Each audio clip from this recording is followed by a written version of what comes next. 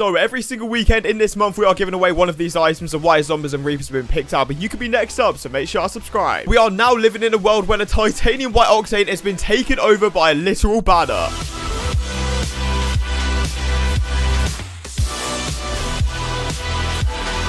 Alright guys, so welcome back to the channel, and a while ago I made a video about my white donut eater. It's a banner that I got, I don't even know, like 2017, and I've had it ever since, and this thing, I don't even understand what's going on. I know it's rare, but more than a white octane, what is happening? So 1,000 thumbs up if you want this item, and yeah, let's jump straight into it. And quickly before we do jump into this video, if you're looking for the fastest, safest, and most reliable Rocket League items, Aoeah has got you covered. As this website has been a fan favorite for half a decade, you can buy any Rocket League item incredibly good pricing, and using any payment method as well. Make sure you're using code ZENIC for 6 percent off. So this was a clip where it all started with about 30 viewers on a YouTube live stream. I got myself this in a trade up and it is going to be the titanium white donut eater from a spring fever trade up. Now, obviously you can't even get this item anymore. Therefore, the rarity has gone up a ton and I've used it literally every day since for over 2,000 days. A year ago, this thing was 1,500 credits in mid value and I was thinking to myself, what on earth? How has that even happened? Because yeah, obviously it's just a random like banner in a game, but oh my god, in this day and age, 6,400 credits is the maximum price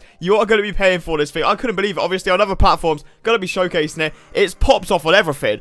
I, it's, it's completely under the radar as well. Like, I had no idea this was even happening. And look at that full-time graph literally over the past month it's absolutely skyrocketed over doubled by an absolute mile for this single painted banner people back in the day were still offering decent amounts you know it's 1.5k on the spreadsheets of people offering around I think it was around 1.5k as well. People are asking around like around 2k. You know, the value is going to be there. The rarity's there. It's from one of the most OG crate series ever. And people in this day and age, yeah, they are offering four to five thousand credits and people are trying to sell for around six thousand as well. Like it's actually mental how an item i've literally just sat in my inventory for years on end equipped it the whole entire time not knowing it's worth this much is so funny to me. And it's not even a white version as well. We've got all of the other painted variants that are still worth an absolute ton back in the day you know. A few hundred credits for a banner is still very very solid and now we're just going to shift and showcase every single one of these where the majority of them are in to four digits. Over a thousand credits for a painted banner I mean, it's clear. It's astronomically clear. I'm really glad I got it, obviously. And yeah, that just proves that this banner is superior in Rocket League Trading. I do see a lot of my subscribers actually have this banner as well, which is really sick because they've unintentionally bought an investment that has made them like literally tens of thousands, not tens of thousands, thousands of credits profit, maybe tens in the future. But of course, make sure to subscribe for daily Rocket League content. 1k thumbs up if you want this banner. And yeah, I will see you tomorrow.